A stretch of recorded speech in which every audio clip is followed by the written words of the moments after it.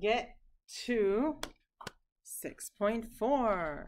We're going to talk about radicals this period. Um, mhm. Radicals or roots. Okay, so um, so you can raise a number to an exponent, right? To a power, right? Like x to the power of n. And then um, the inverse of that is finding the nth root of a number. Okay, so for example, you can take, you know, 2, raise it to the power of 4, and you get 16. Or you can take the fourth root of 16 and get the 2 back, right? So that's how it works. So x to the n equals a, and then, or you could just take the nth root of a and get your original base back. So, um, you know, so take a look at this one. If you have x cubed equal to 64 and you want to solve for x, um, the inverse of that, you take, since it's, you know, to the power of 3, you take the cube root of 64. And basically, when you take a cube root, that's asking you what number, when you multiply it by itself three times, gives you that number. And we know that's 4 times 4 times 4. So this is 4. Okay? All right, so same with this one. You have x to the power of 4 equals 625. So to figure out what x is, you say, okay, what's the fourth root of 625? So basically now you have to think to yourself, what number when you multiply with itself four times do you get 625? No. These are just like we call them like the not plus or minus.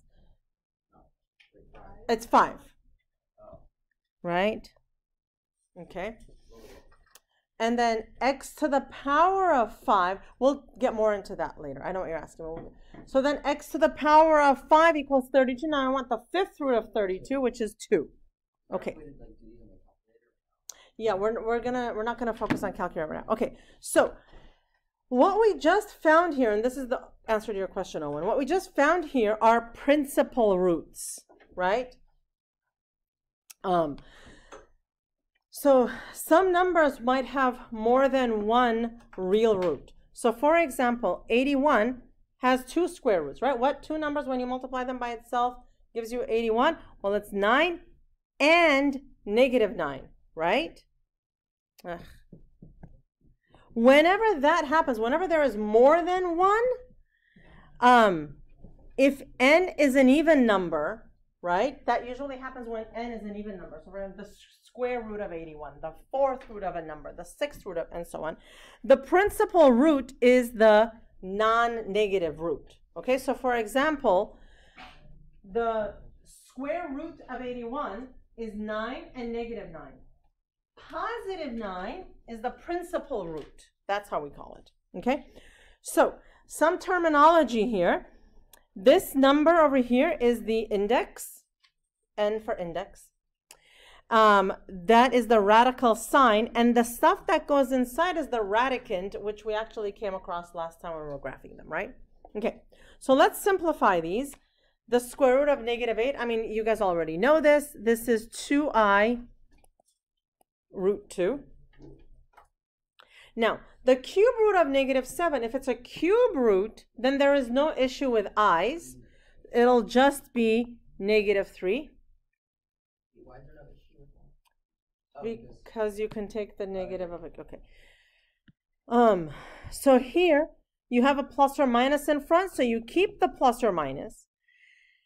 Okay, you have a 16x to the 4 inside. You have to do each of these on their own. So first, the square root of the coefficient gives you a 4.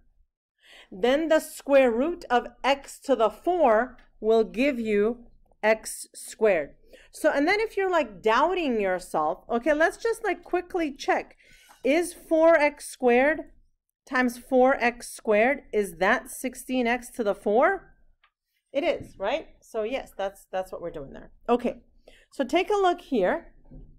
I have negative outside of the radical, so that stays.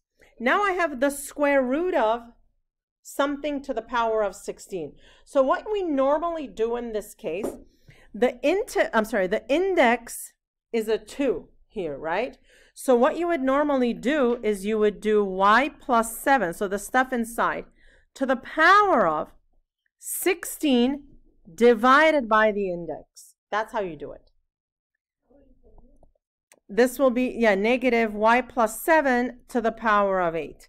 Now, I would like for you to be able to do that mentally so you don't have to show that intermediate blue step.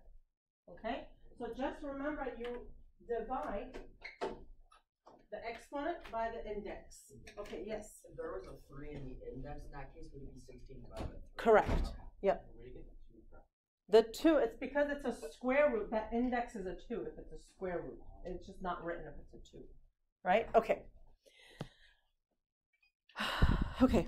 So this is very important, and students often forget this.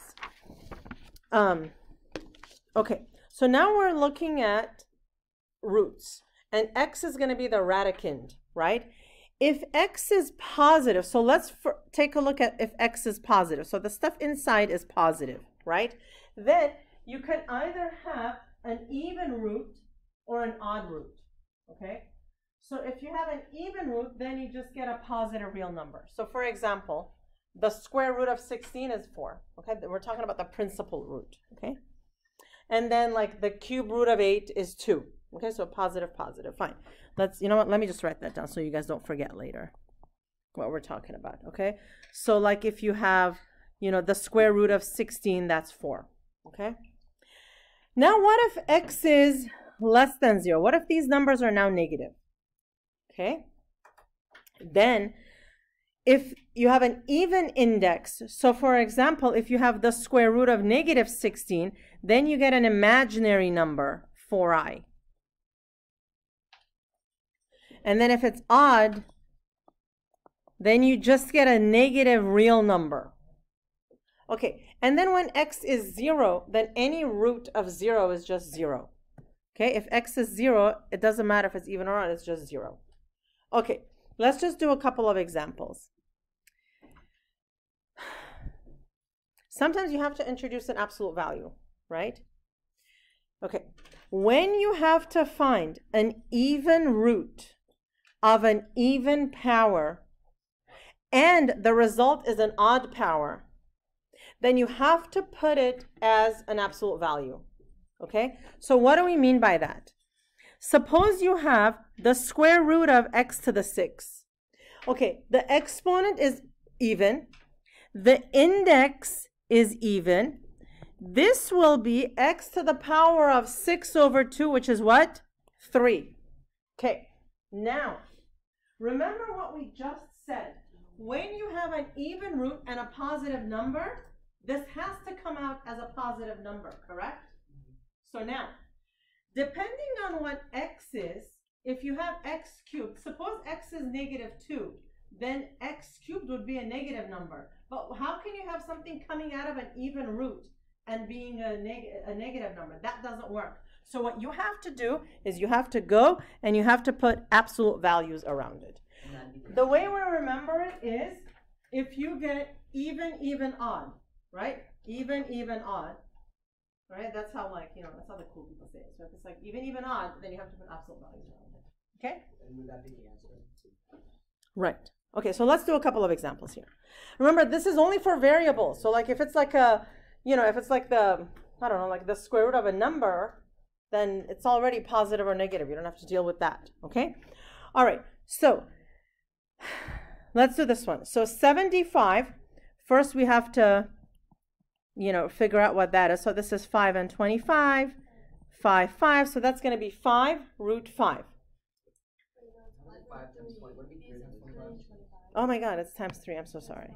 Okay. Okay. So if you have the square root of all that, this is technically the square root of 75 times the square root of t to the 6, right? So these are like, you're doing them separately. So this is going to be 3, oh my God, 5 root 3. This is what happens on Tuesdays when I've just been teaching straight through since 8 o'clock. Okay? Times. Okay, here we're going to get t to the power of 6 over 2, 3. But where did that come from? That came from even, even, and became odd. So now I need to put absolute values around it. Okay, so what do you have to show and what can you not show here? You have to obviously show this answer here. This intermediate step, I only put this so you guys can see what's happening. You don't have to show it to me. All right, let me do a couple more and then I'll ask, um, uh, and then I'll take some questions. Huh? No, that's what I said. It's only for the variables. Okay. So this one too, let's just rewrite it separately for the time being. This is the square root of negative 36 times the square root of y to the 4. So the first one gives you what? 6i. And then I get y squared. Now here, it's even, even, even. Don't worry about it, right? Because it's y squared. That doesn't have the um, problem of, you know, possibly being negative, right? No, you can divide even by even and get either an even number or an odd number. So 6 divided by 2 is 3, right? But 4 divided by 2 is 2. So when you divide two even numbers, sometimes you get odd, sometimes you get even. Okay, here, let's try to do this um, right off the bat. So I have a negative outside. Square root of 49 is then u to the what? 4 times v to the 6. Do any of those need absolute values? No. Okay. Here. Cube root, negative inside, negative just comes out. Cube root of 27 is 3. Okay, x to the second power, y to the 4. Do we need absolute values here? No. Would we ever have needed absolute values here? No, because it's an odd root. Okay? Okay. Yep. Why would we need absolute values? Like, what would that actually mean? So if it's even and even in here, right? Okay, so this is an even root. Whatever comes out of an even root has to be a positive number, right? So like you can't get the square root of something be a negative number, right? So here we got the square root and we got t cubed. Okay? Okay, since this has an odd exponent, depending on what the value of t is, this can potentially be negative. So if t was 2, no problem. But if t was negative 2, this could be a negative 8. But how can you have something come out of an even root but be a negative? Yeah. Right? So you have to fix that by putting absolute values around it. Okay. Yep. You need the absolute values around t cubed or around?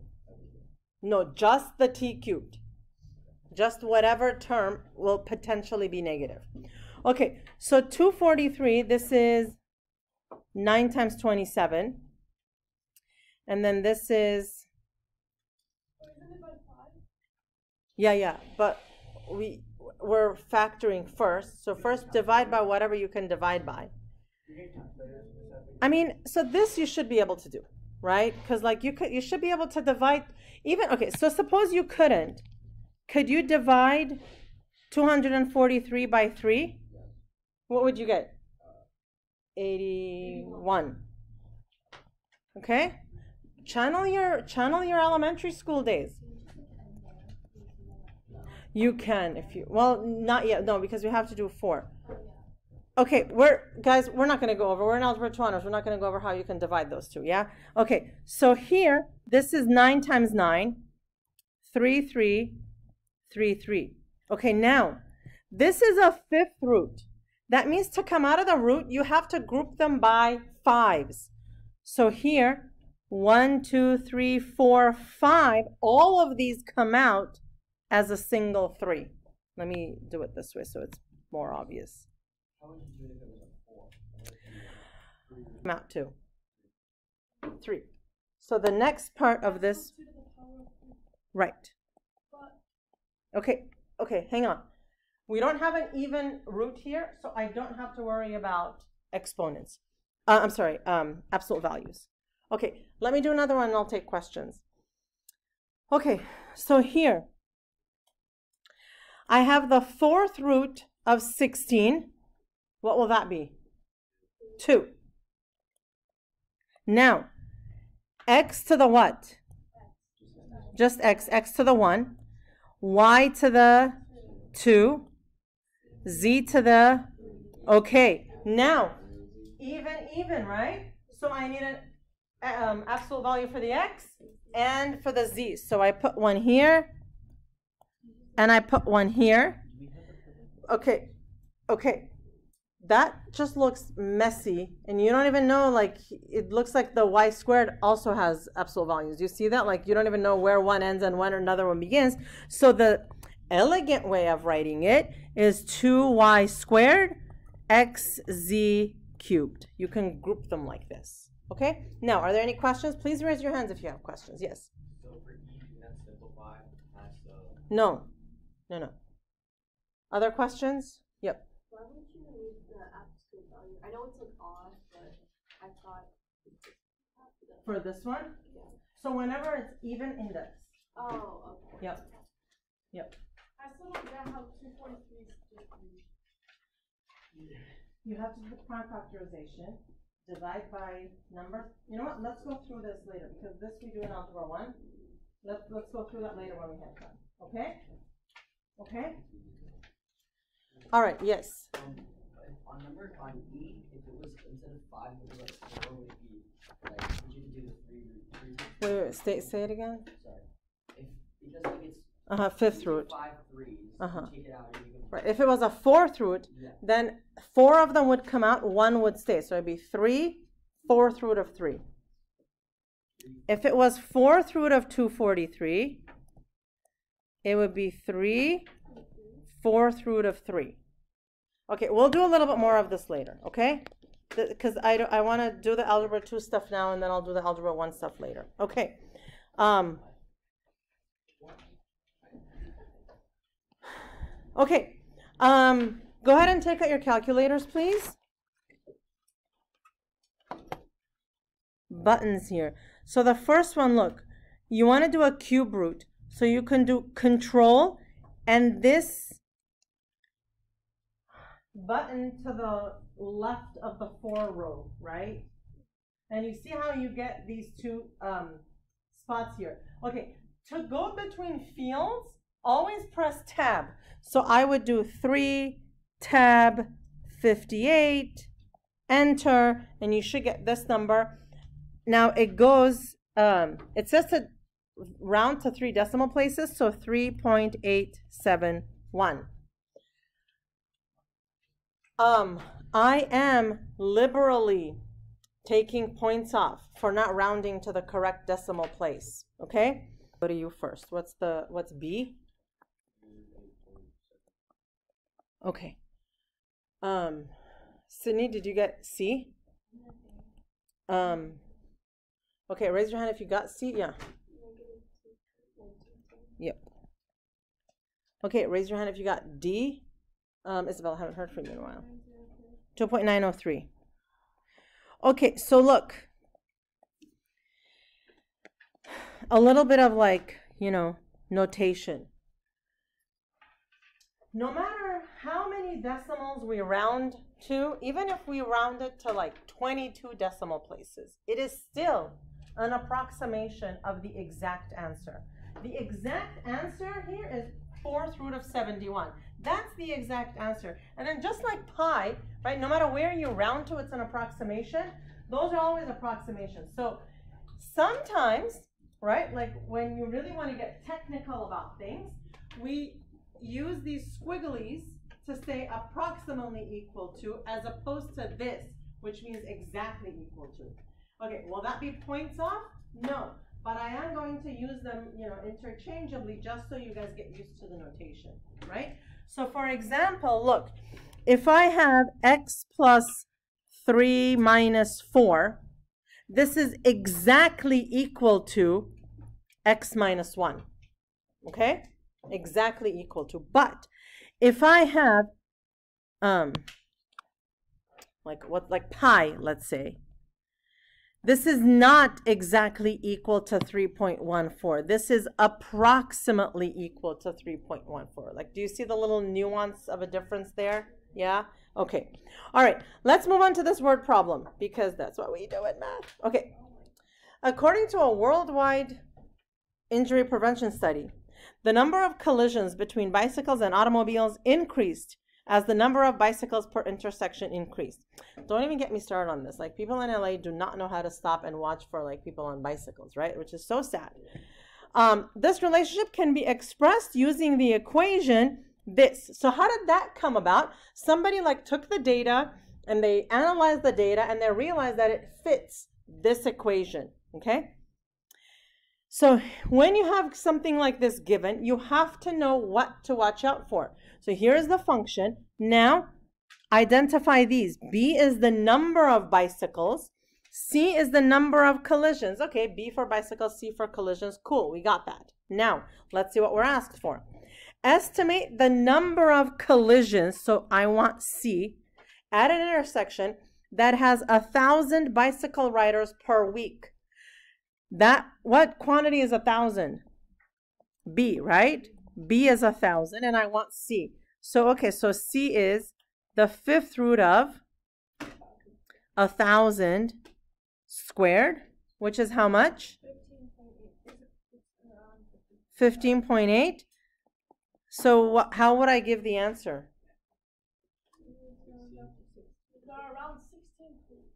It's about 16 collisions, yeah. So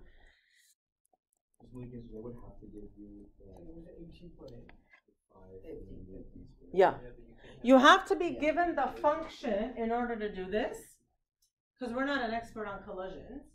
And then you have to be given like some other information. So here, if the total number of collisions reported in one week is 21, this time C is 21. Estimate the number of bicycle riders, right? So now we want B. So 21 equals fifth root of B. So how much is B? Huh? Oh, sorry, b squared. Okay, so 21 to the power of 5 is b squared. And then, what's b then? Well, so to find b, I have to take a square root. So the square root of 21 to the power of 5 is b. So let's see what that is. I don't have the answer.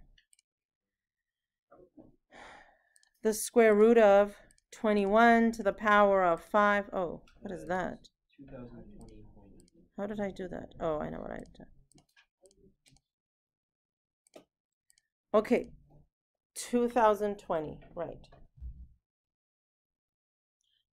2020.9. Yeah, so B is about 2021 writers. Okay, questions? Okay.